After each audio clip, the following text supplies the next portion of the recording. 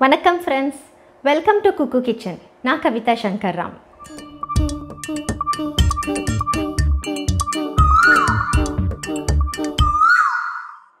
நம்ம ஊரில் வந்து நிறைய கிழங்கு வகைகள் வந்து நமக்கு ஈஸியாக கிடைக்குது.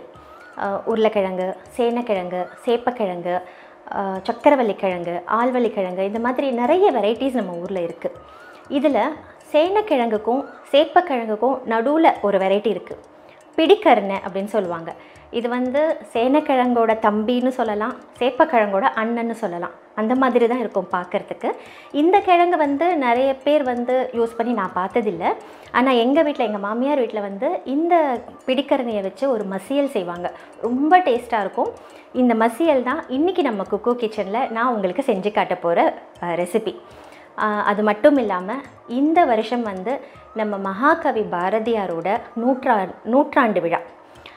ஸோ அதுக்காக அவருடைய பாடல் ஒன்று எடுத்து பாடலாம் அப்படின்ட்டுருக்கேன் ஸோ இதுக்கு முன்னாடி நம்ம வந்து மசியல் செய்கிறது எப்படின்னு வந்து பார்த்துடலாம் இந்த ம க பிடிக்கரணை மசியலுக்கு தேவையான இன்க்ரீடியன்ட்ஸ் வந்து நான் டிஸ்கிரிப்ஷனில் கொடுக்குறேன். நீங்கள் செக் பண்ணிக்கோங்க.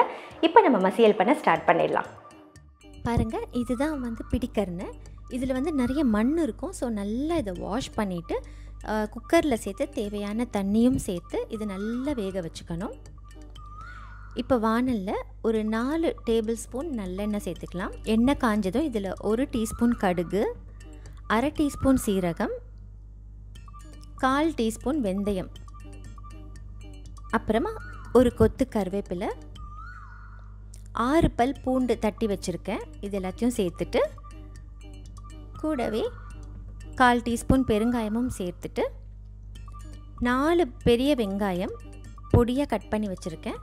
ஸோ அதையும் நல்லா சேர்த்துட்டு வதக்கி விட்டுடலாம். வெங்காயம் வந்து நல்லா வதங்கணும். ஸோ நல்லா வதக்கிக்கோங்க. இப்போ பாருங்கள் வெங்காயம் நல்லா வதங்கிடுச்சு.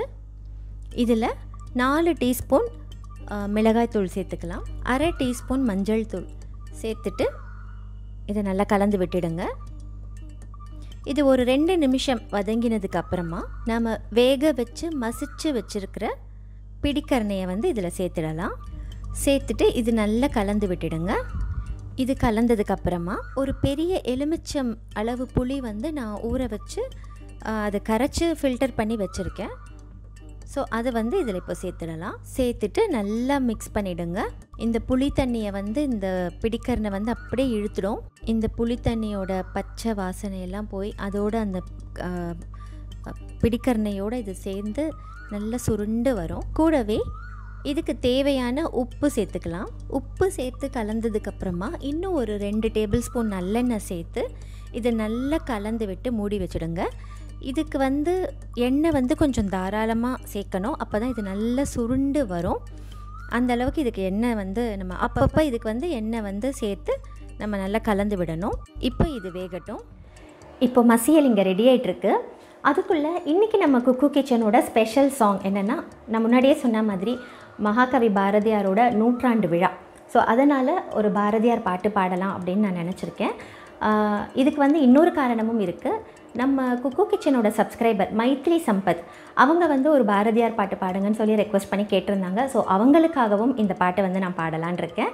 இந்த நேரத்தில் இந்த சாங் கேட்டதுக்கு அவங்களுக்கு என்னோட நன்றியை நான் தெரிவிச்சுக்கிறேன். நம்ம பாட்டு கேட்கலாமா?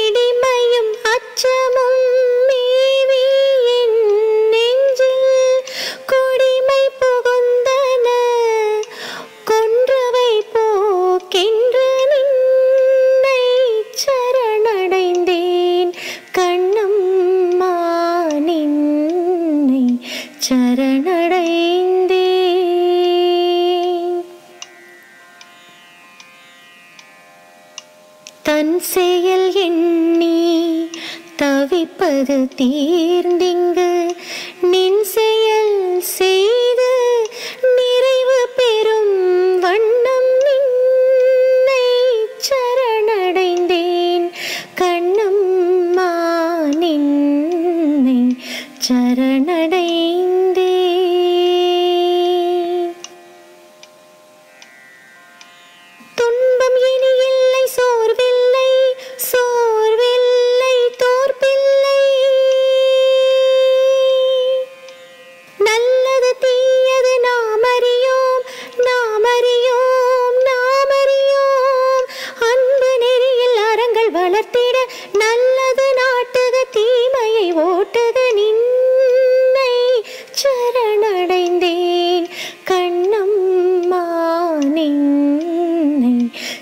சரணடைந்தேன்.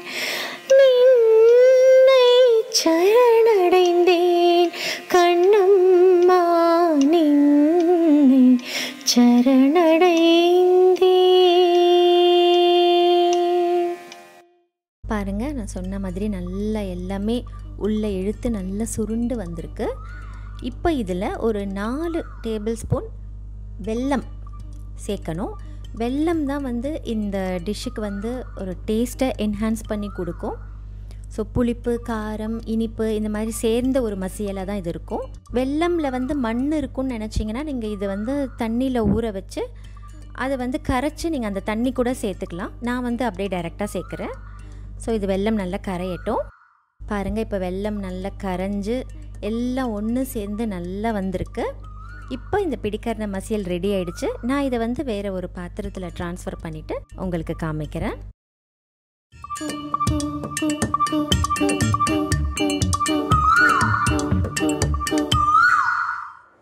என்ன ஃப்ரெண்ட்ஸ் இன்றைக்கி நம்ம குக்கு கிச்சனில் இந்த பிடிக்கர்ண மசியல் எப்படி செய்கிறதுன்னு நீங்கள் எல்லோரும் பார்த்துருப்பீங்க. உங்கள் எல்லாருக்கும் பிடிச்சிருக்கும்னு நினைக்கிறேன். இது வந்து நீங்கள் சுட சுட சாதத்தில் சேர்த்து நல்லெண்ணெய் விட்டு சாப்பிட்டிங்கன்னா அவ்வளோ டேஸ்ட்டாக இருக்கும். எல்லோரும் கண்டிப்பாக ட்ரை பண்ணி பாருங்கள் அதே மாதிரி இன்றைக்கி நான் பாடின பாரதியார் பாட்டும் உங்கள் எல்லாருக்கும் பிடிச்சிருக்கும்னு நினைக்கிறேன். இதே மாதிரி ஒரு இன்ட்ரெஸ்டிங்கான ரெசிபியோடவும் ஒரு நல்ல பாட்டோடவும் உங்களை நான் அடுத்த வீடியோவில் பார்க்குறேன் செவிக்கும் உணவு.